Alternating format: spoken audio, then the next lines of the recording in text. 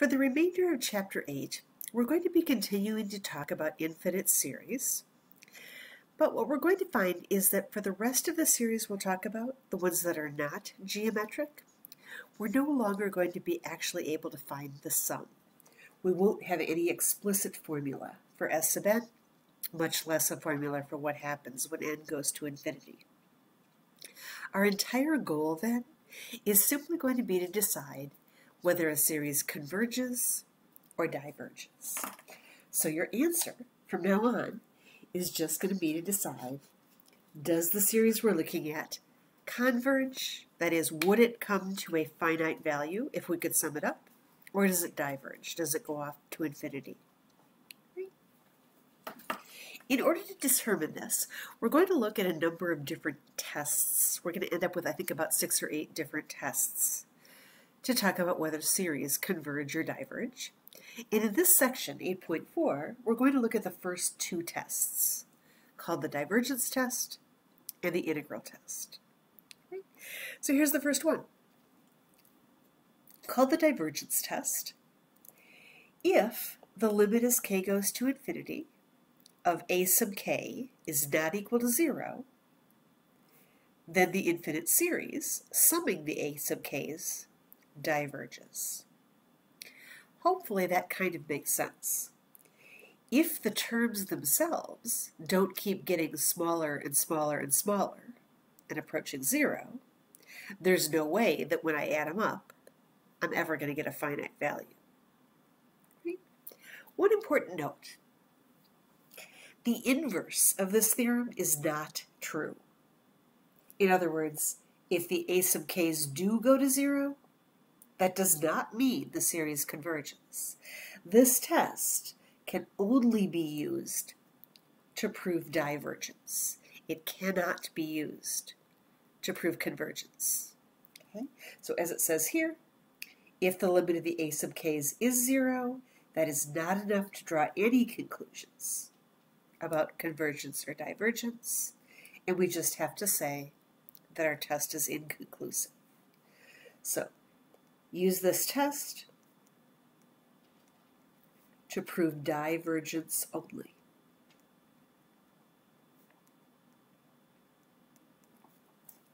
All right, so let's give it a shot. We're going to determine whether each of the following series diverge, or we'll simply state the divergence test is inconclusive. Again, we can't prove convergence this way.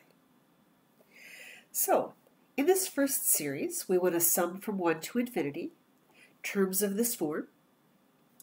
And so our a sub k's look like k squared plus k over 2k squared.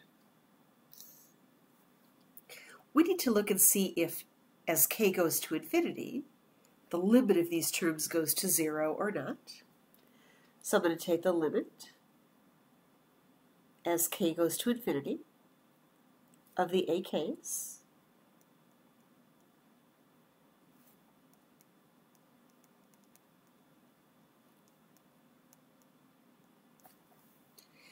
And let's see, this would have the form right now, infinity over infinity. It's an indeterminate form. And so if I use L'Hopital's rule on this, derivative of the top would be 2k plus 1.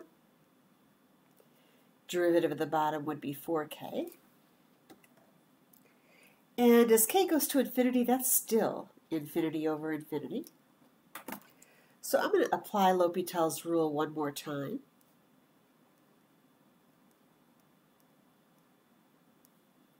Derivative on the top is 2, and on the bottom is 4.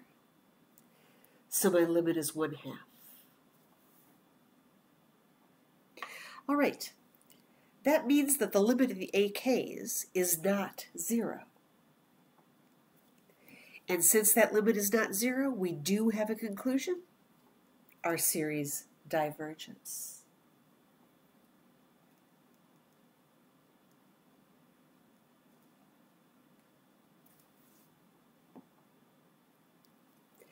All right, let's try a couple more.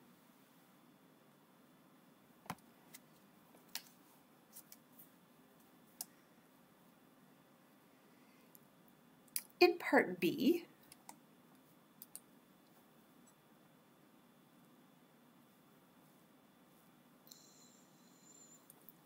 we have the series k cubed over 2 to the k. And so once again, I'm going to say this is my AKs. And my goal is to determine whether the limit of those AKs is 0 or not.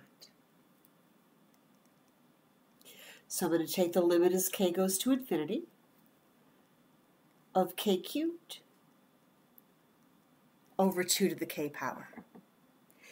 Now in this one, even though I do have an infinity over infinity situation, think I could take a little bit of a shortcut. I don't have to do L'Hopital's rule because I could just use growth rates that we studied a couple of sections ago, right? I couldn't use growth rates on this one because these were both polynomials. Can't use growth rates when they're both the same. But this time I have a polynomial on the top and an exponential function on the bottom.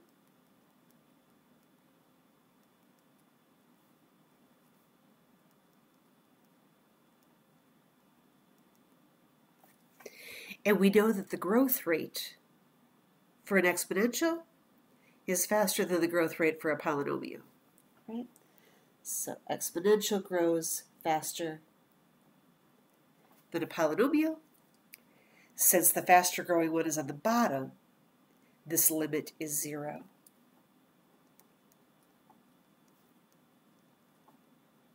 And I'm just going to say by growth rates. Since the limit is zero this time, I can't apply the divergence theorem. Right? The divergence theorem only applies when the limit is not zero. So I'm going to say the divergence theorem is inconclusive.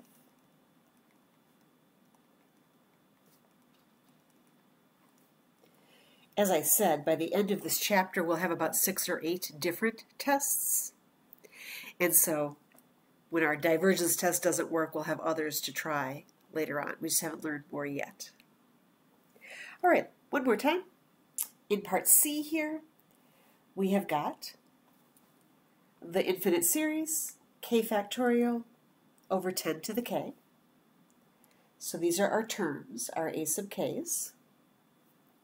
And the divergence test says take the limit as k goes to infinity of these terms. I think we're going to be able to use a growth rate argument again, since we have different types of functions, top and bottom. This time, the top is a factorial, and the bottom is an exponential.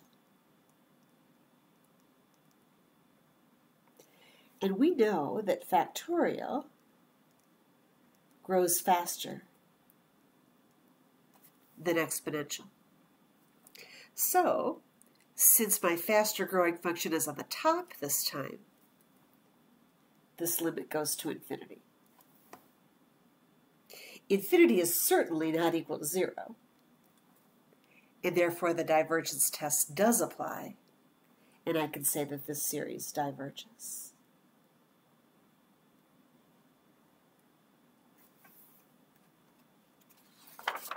All right, so that's my basic divergence test.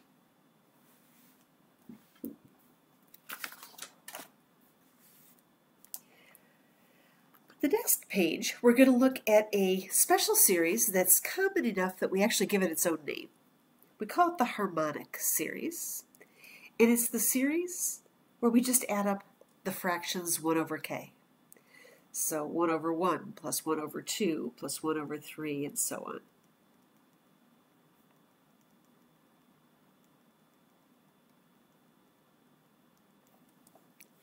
This theorem tells me the harmonic series diverges.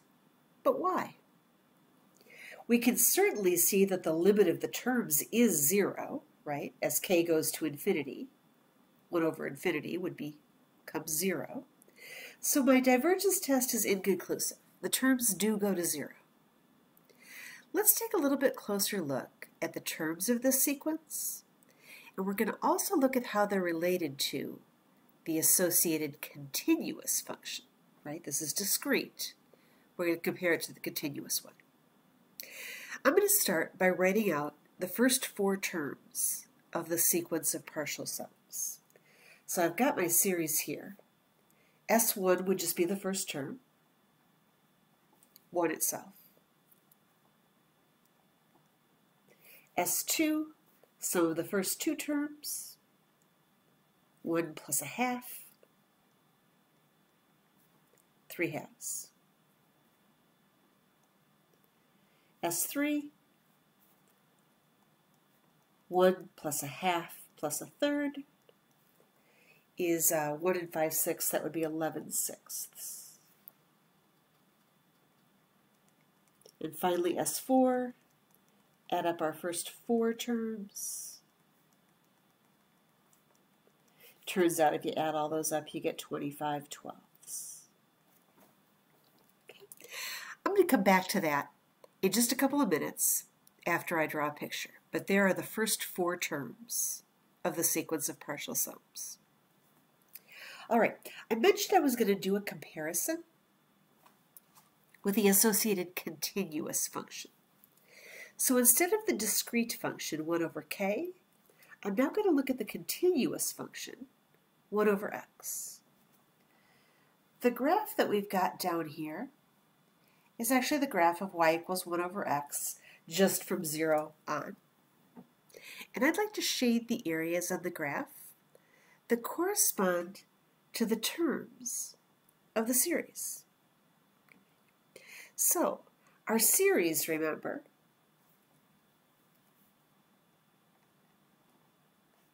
was the sum of the 1 over k's, as k goes from 1 to infinity.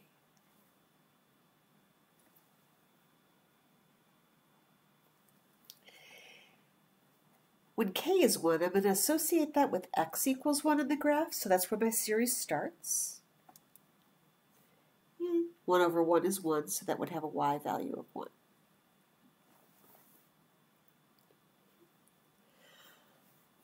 The next point in the graph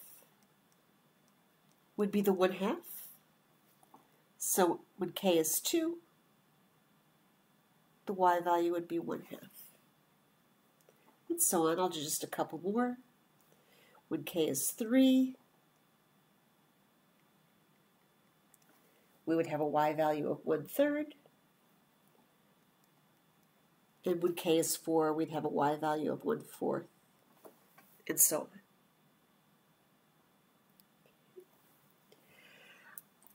If I were to take these as heights on my graph and just kind of finish off the rectangles at those heights. Notice that the area of this first rectangle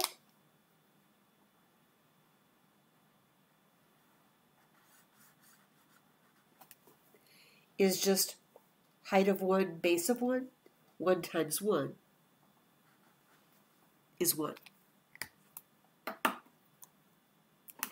If I were to do the same thing here at 2,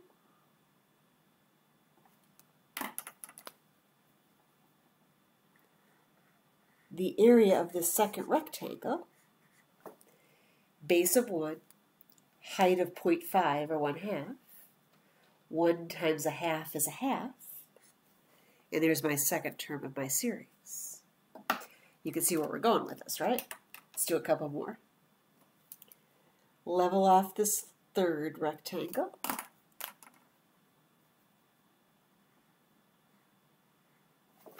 the area of that third rectangle, base of 1, height of 1 third, is the 1 third, and so on. I could do the 1 fourth and the 1 fifth, and so on and so forth. So, the sum of the series is actually the sum of the areas of all these rectangles.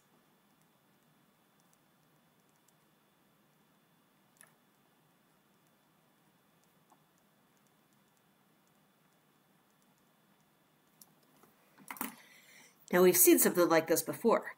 We built these, right, as Riemann sums back in Calc 1, but I'm actually not going to go there this time. Instead, I'm going to use the fact that we actually did that work before And I'm going to say, we also know the exact area under this graph, starting at 1 and going on to infinity, is the integral. So we also know that the integral from 1 to infinity of our function, 1 over x dx, is equal to the area under the curve.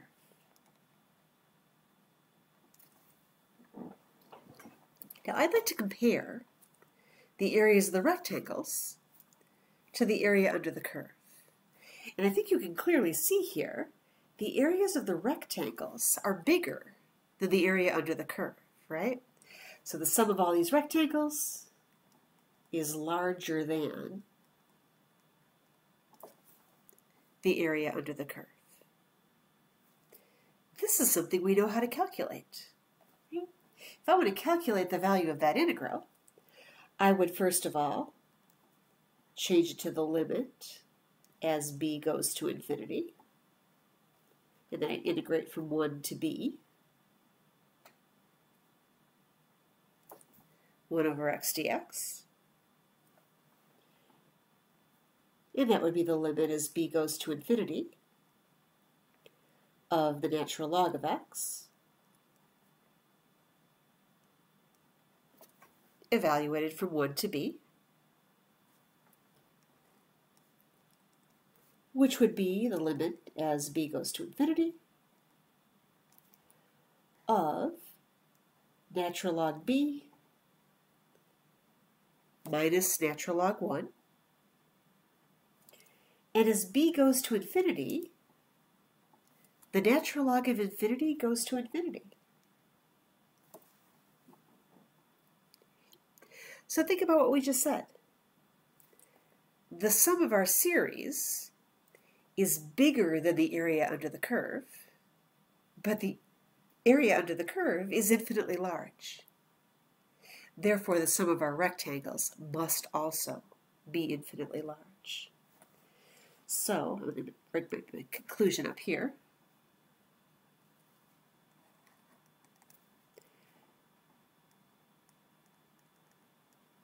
The series sum is greater than the area under the curve.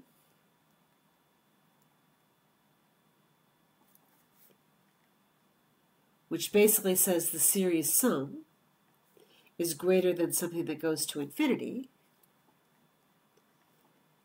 meaning the series sum is infinite. In other words, the series diverges.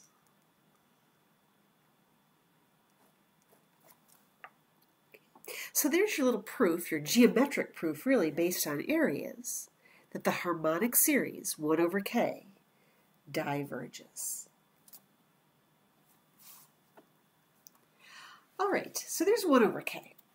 What about 1 over k? Well, actually, excuse me, before we get there, we got something else to do. What I just did by comparing the sum of the series to the area under the curve is in and of itself another test for convergence. Based on what we just did, hopefully you wouldn't be too surprised to learn that this new series is called, or excuse me, this new series test is called the integral test. Here it is stated formally. Suppose that f is a continuous, positive, decreasing function for x greater than or equal to 1. Let a sub k equal f of k for k 1, 2, 3, etc. So this is just making it discrete. Then the series, as k goes from 1 to infinity, of a sub k, and the integral from 1 to infinity of f of x, either both converge or both diverge.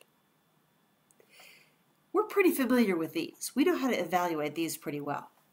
These guys are new to us. So, evaluating this for convergence or divergence is going to provide for us an easier way to determine whether this converges or diverges. One important thing to note. In the case where we do get convergence, notice that the value of the integral is not equal to the value of the series. We can see that from the problem that we were just looking at, right? Oops, sorry, that wasn't the one I was using.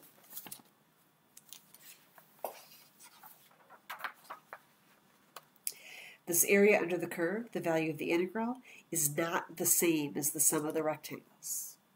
So, yes, we'll be able to determine convergence or divergence, but no, we won't be able to say what the value of the series converges to. All right, so let's try a couple of examples of this integral test. Unfortunately, I'm going to have to change the very first one for you because I realized after I typed it up that I didn't uh, didn't give you one that works here. It has to be continuous, positive, and decreasing. And this one's not decreasing, so I'm going to change it so it is. Would you please make this a 1 and just a k to the first? So what we're actually going to do is determine whether this series, 1 over the square root of k plus 4, converges or diverges. We're going to do this using an integral test. We're going to say, let's think about the integral from 1 to infinity of the function, and I'm now going to make this continuous, so the square root of x plus 1 dx. That's something we definitely know how to do. We start by replacing the infinity with the limit as b goes to infinity of the integral from 1 to b. And that's actually just x plus, whoops, that was a 4, x plus 4 to the negative 1 half dx.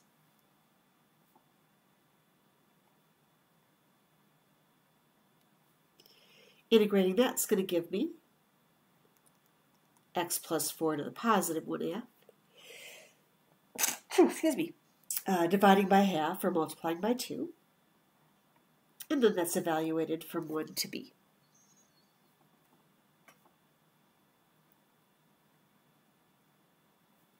So I'd get 2 times b plus 4 to the 1 half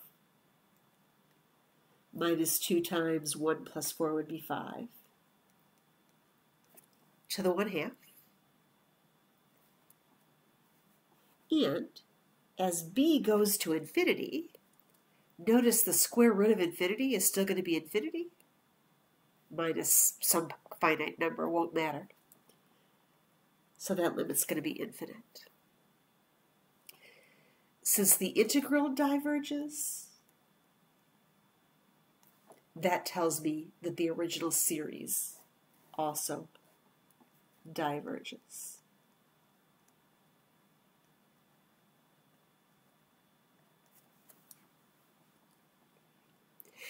One thing I would like you to start getting in the habit of, now that we have more than one test for convergence, is when you say whether a series converges or diverges, I'd like you to also name the test.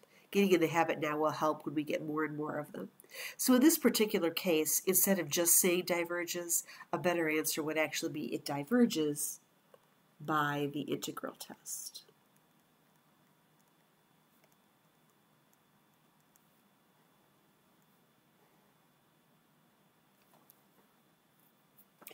All right, let's look at one more.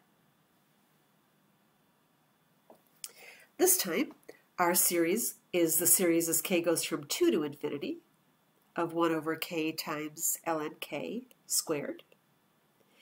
And once again, I'm going to go ahead and apply an integral test. I'm going to say,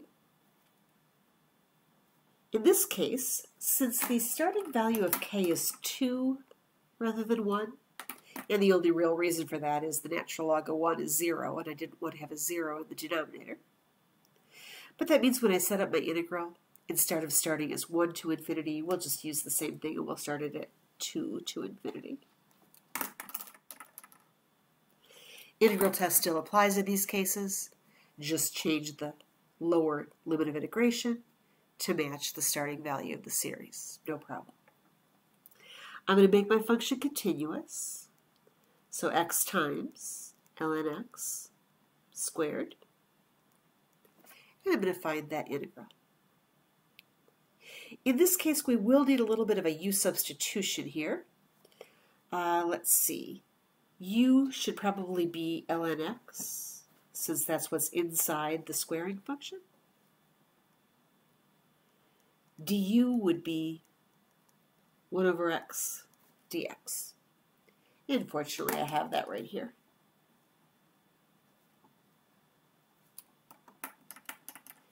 So I would have the integral of 1 over u squared times du. I won't put limits of integration in right now since I've got the u's rather than the x's. We'll put it back in later. That would be u to the negative 2. So the integral would be u to the negative 1 divided by negative 1 or minus 1 over the u, which is ln x.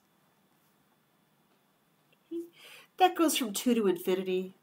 Really, I probably should make that from 2 to b and then take the limit as b goes to infinity.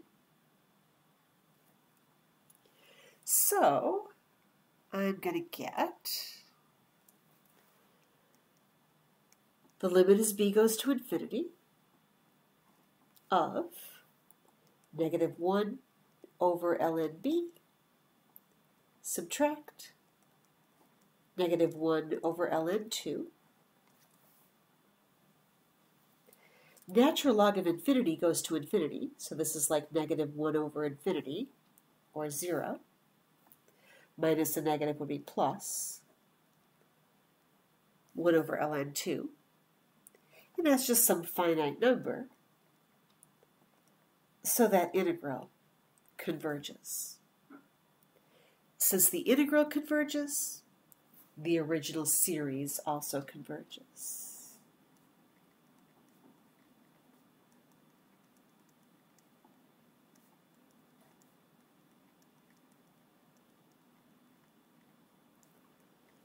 And again, I'm going to be very specific. I'm not just going to say it converges. I'm going to say it converges by the integral test.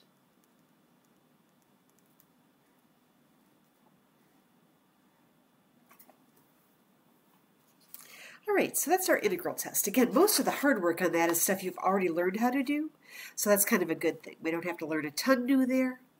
We just convert our series to an integral, and determine whether the integral converges or diverges. The series will do the same.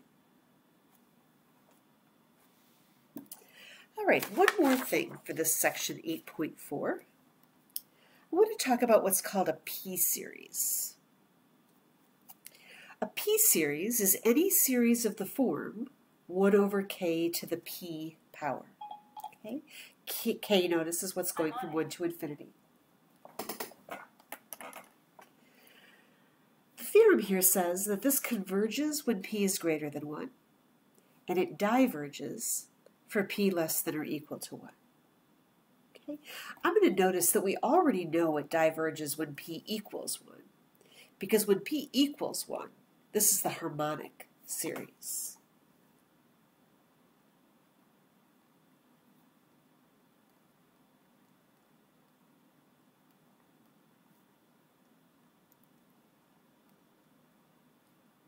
We already know that diverges. So what I'd like to do is I'd like to use an integral test to explain why this is true in all of the other cases. We don't have to worry about the p equal 1 case. We've already dealt with that. But I'd like to know why this converges when p is greater than 1 and why it diverges if p is less than 1. So let's take a look. Let's apply our integral test. I'm going to specifically look at the cases when p is not equal to 1. And I'm going to say, let's form the integral from 1 to infinity of 1 over k to the p power. And I actually want to turn that into a continuous function, so let me make that an x instead of a k. 1 over x to the p power dx. That really is the limit as b goes to infinity of the integral from 1 to b. And I could write that as x to the minus p dx.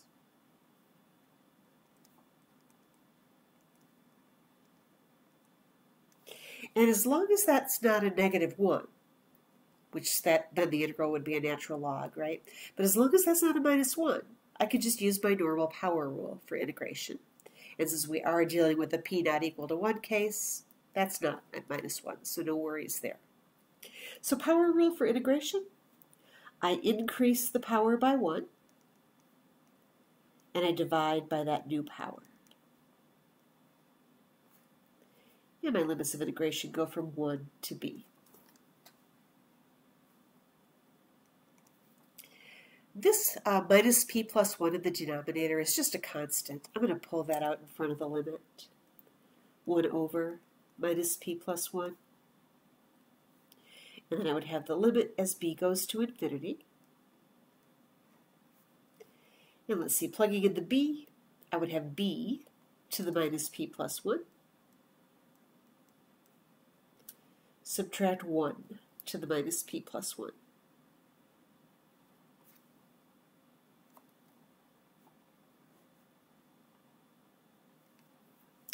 All right, so what's going on here? As b goes to infinity, the value of that first term is going to depend on what's going on with this exponent. Right? If that exponent is negative, then this goes to the denominator.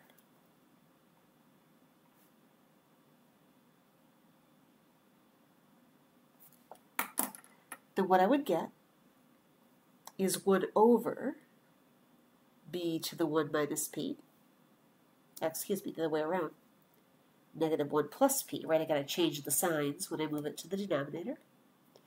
Minus 1 to any power is 1. And because that b, which is going to infinity, is now in the denominator, this becomes 1 over infinity. Goes to 0, and this converges. But if p minus 1 were greater than 0, this would stay on top, and I would just get infinity. So this converges only because the minus p minus plus 1 is less than 0, or in other words, 1 is less than p, which is exactly what we have right here, right? If 1 is less than p or p is greater than 1, this converges. Diverges otherwise. So that's the reason why. Let's go ahead and put this theorem into practice. And I am just going to call this the p-series test. Let's go ahead and practice that p-series test for a couple of specific examples. So, I want to know whether this converges or diverges. The first thing I always want to do with these is write them in this form. I want them to look like a p-series. So I'm going to write them as 1 over k to a power. So let me do that here. Uh, the square root of k to the fifth, that would be k to the 5 halves. So in this case, p equals 5 halves, right? and that is definitely greater than 1. And so I can say this converges by the p-series test.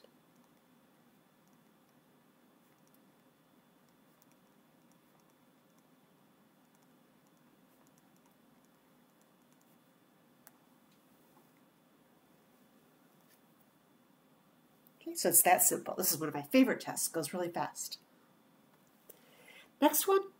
Again, the first thing we want to do is rewrite it so it looks like that p-series form.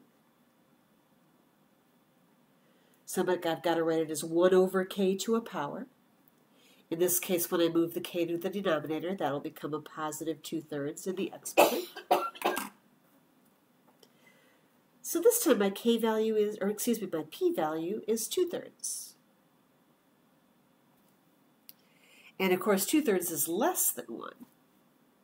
So this one diverges by the p-series test.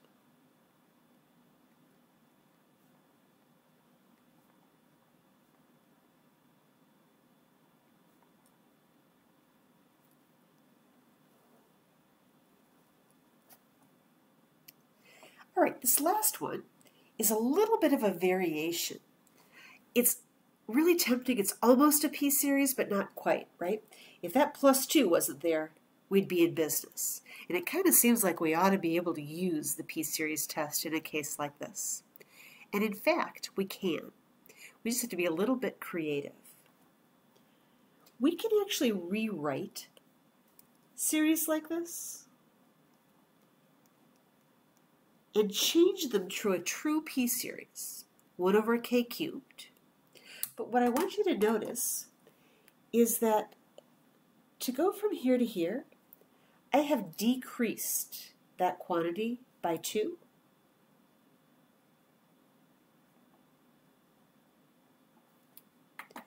To compensate for that, all I have to do is increase the index by 2.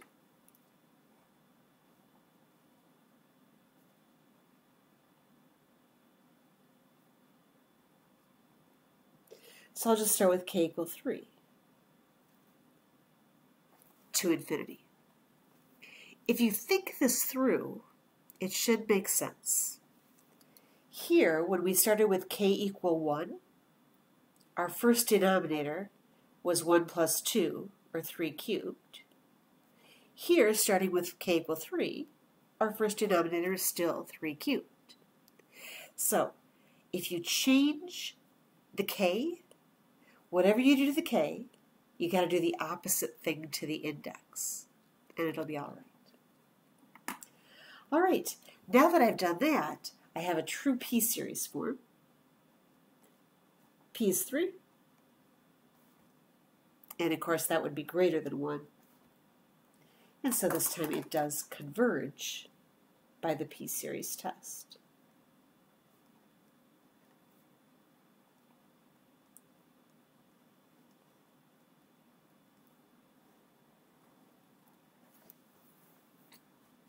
All right, that brings us to the end of what you need to know for section 8.4.